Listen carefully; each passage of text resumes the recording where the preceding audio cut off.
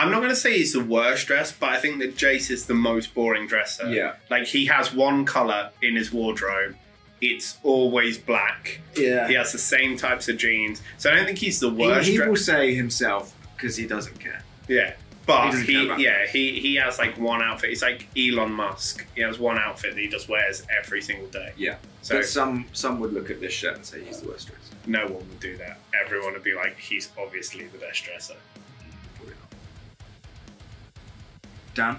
I think I'd say Dan. Yeah. Like he loves a good tour bus DJ. If, he, if he's had a couple of shandies, If, he, if He's he's had, if he's had a woo woo, he's ready to go. which he doesn't often do on tour because he's very professional. isn't yeah, very But professional. when he does let his hair. he loves a good tour bus DJ, and he goes wild. Like it, it's a tangent. I wish we could get some of the playlists that he's Yeah. created on the bus. There isn't much of a structure. no, and go from Hatebreed. To Lewis Capaldi Yeah. in seconds. Yeah. But yeah, definitely Dan. Hmm, I think probably either myself or Jace. We we do kind of do all the mum stuff in the band. So I'd say either me or Jace. Yeah. Do you agree with that? Yeah, they generally sort out like the day to day stuff. I guess I also dress do. like a middle-aged mom as well.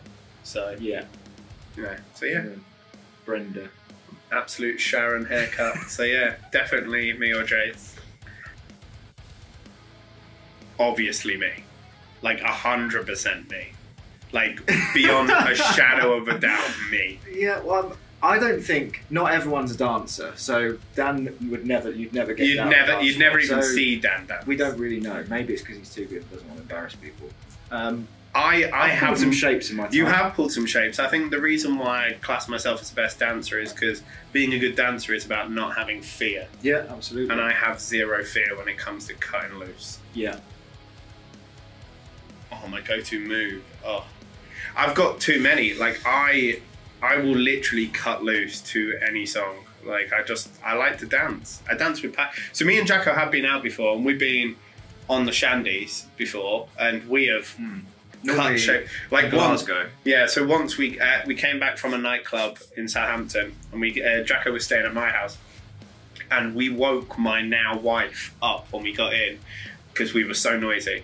And she was like, "How was your night?" And me and Jacko just was like, "We just danced with so much passion. We just danced with so much." But that was the only thing that me and Jacko kept saying to her. Just so much passion. And Dan was with us as well. He was like, "There was so much passion." yeah. So all three of us. Imagine me, Dan, and Jacko arriving at your house and waking you up drunk, and then when you when you actually talk to them, all they keep saying is that they danced with passion. Mm-hmm. So yeah.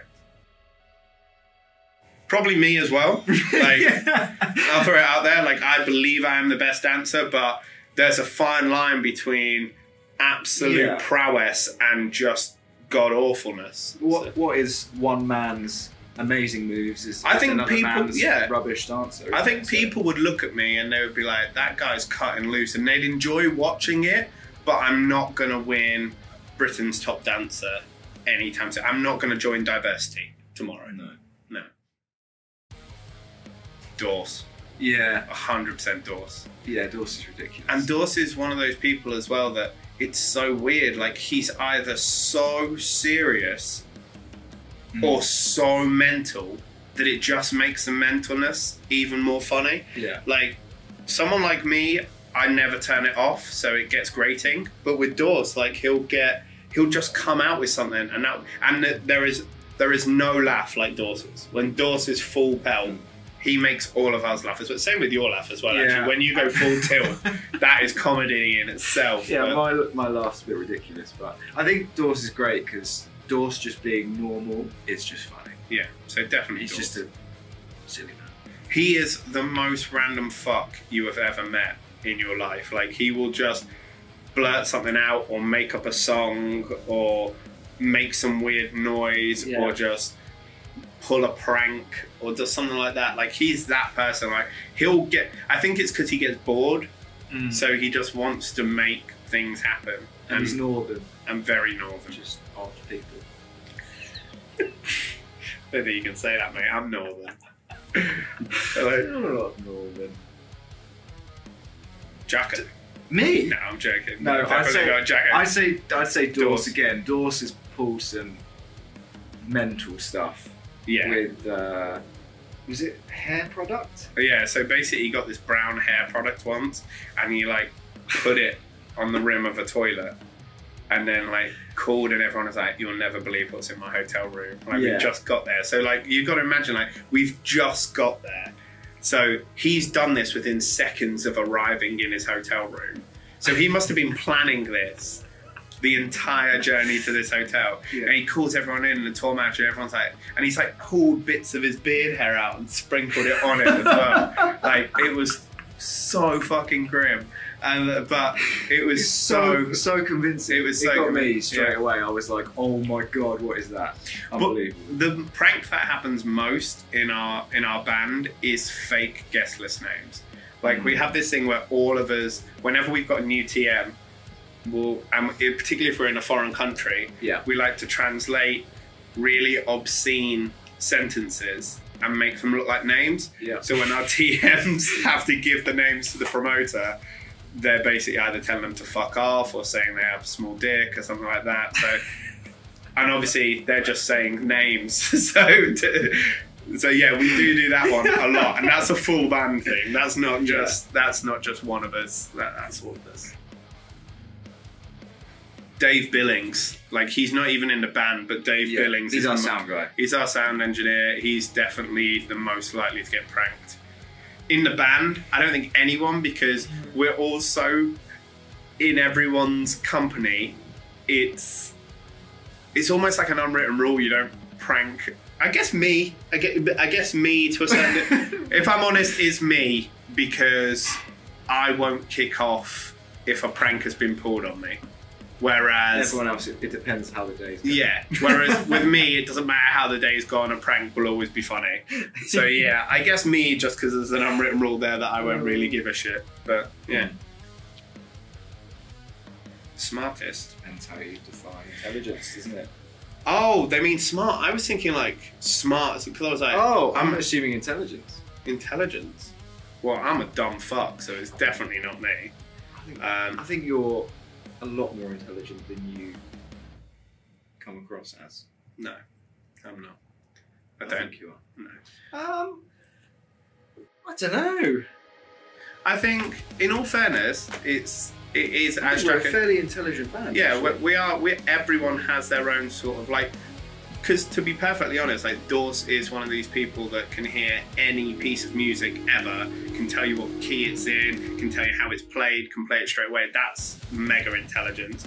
You're super smart. Jace is probably the most attention to detail. Will find anything that could possibly be wrong with a scenario person. Uh, Like I think in our own way, where there isn't a dumbass in the band. no, definitely not. So apart from me, there isn't really a dumbass in the band. So yeah, the dumbest person in the band is me.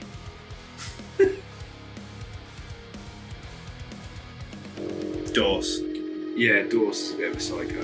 Yeah. I don't think you can call him a psycho, but he is definitely hard. However, however, He we has, once has his moments. when we were when we were first starting in this band, we used to go out a lot together. Um, and I once saw a chip shop van a fight kick off um, that we weren't actually involved with at the time. And I'm going to give props to my boy Jacko here. He managed to fend off a group of lads while still holding his chips and not dropping a single fucking chip. And that is a talent. Like chips in one hand, get away. Like I call it the chip catter. Um, it was very impressive. So, you know, Dan's pretty hard. So yeah, Is pretty hard. I've never seen Jace in a fight, but I can imagine he wouldn't exactly be. Just don't mess with Bury Tomorrow. I think is It's the the answer. best. It's probably for the best.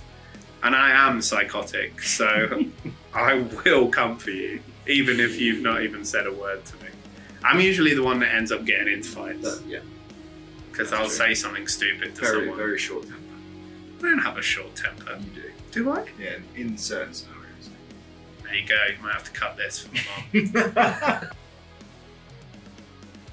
I You. so me. Yeah. I've You- definitely been in the middle of uh, you and your darling brother a few times. Well, yeah, I think yeah, you. Brotherly love, as it is. Sometimes, When you're very uh, close to people, you feel like you can say things, and sometimes maybe you can't say things. And Jacko, yeah, and uh, you know, Jacko and Jace have definitely been in the fair share of knock it offs. so definitely peacemakers, but Jacko has been there more because Jacko comes out with us uh, drinking because Chase doesn't drink. So Jacko's seen me a bit inebriated more. I think It's the right it's term. true. So yeah, he's had more opportunities to be a peacemaker. Correct. Dan, yeah, yeah, it's definitely down. Dan. I don't give a fuck, really. You're asking me. Um, yeah, Yeah. but he's a very stylish guy, so you know, we'll make make the effort. Someone's got to. Jeez. I'd probably say Jace. I think that Jace would probably say himself. As Yeah, well. I, I would agree. Yeah.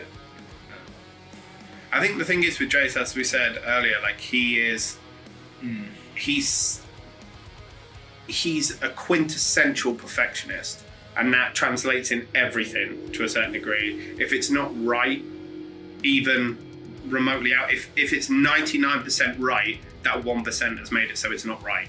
So I Yeah. think that that's why he comes across as as moaning, but really it's it's more he wants perfection at all points. So Mm. yeah, Dav. hundred percent me. Yeah. I'm on the phone all the fucking time.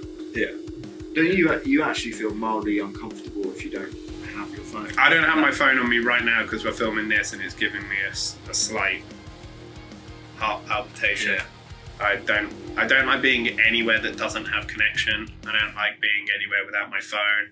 I only bought a other brand of smartwatches that are available just because it helped me felt more connected to my phone. So yeah, definitely me. I don't.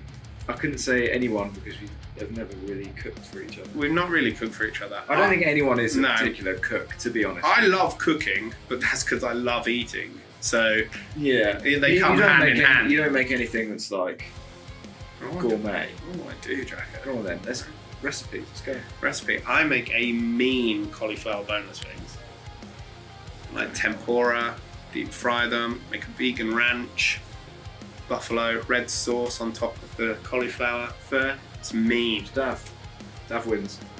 Cool. No one else in the bank can do it. We've all got fucking annoying habits. All of us. I don't. Come on. Yours, you're too quiet most of the time. I like to speak more. I like you to talk to me. I like you to caress me. I like you to hold me. if that's my worst habit, I will take that all day. Yeah, that is your I- worst habit. Yours What's mine? is you leave stuff everywhere on the bus. Yeah. So the bus, Dav uses the bus like his my own dressing room. dressing room. Because that's because I have a lot of clothes. Different pockets of clothes options. Like You never know when you might need a costume change at different parts of the bus. well, I don't want to have to go upstairs to pick a new outfit. no. If we're going out and we're downstairs and we're chilling, I don't want to have to go Yeah. upstairs. I want to have a sequin jacket ready to go No, on all I- occasions. I respect that. I just think we maybe need to address the like pants and socks. Just they're in- not in all kitchen. dirty. They're not all dirty. and on tour, you don't really get washing machines, so sometimes you have to wash your pants in the sink. That's a fact. for the sink of the bus. Yeah. You don't have to. I do. And Dawson and Jason's are are both the same. It's they are rootin' tootin' on the bus. Like you have never heard you have never heard farts that come from that end of the bus. Like Yeah, they ever. always- they have like these have fart battles. They have like this own fart section. They're always down like the Yeah. end of the bus. And like you can just so me and Jacko always end up at the like because I snore and Jacko doesn't he, he wears headphones a lot so he's not really bothered I by my sleep snoring. deeply. So Yeah, so like we always sleep like one end, but me and Jacko would just be sat in our bunk and then all of a uh, sudden hear like and then a response of Yeah. and then we'll be like and then I'll just hear Jacko laugh from his bunk and then I'll start laughing. I'm like we are 30 fucking goddamn years old and we're laughing at farts. Like, but yeah, so Yeah. Jason Dawes have like these fart battles that are mental. Every morning it's like a dawn chorus. Yeah. Like, we don't wake up to a cockle doo doo doo. We wake Yeah. up to a. Yeah. It's not nice.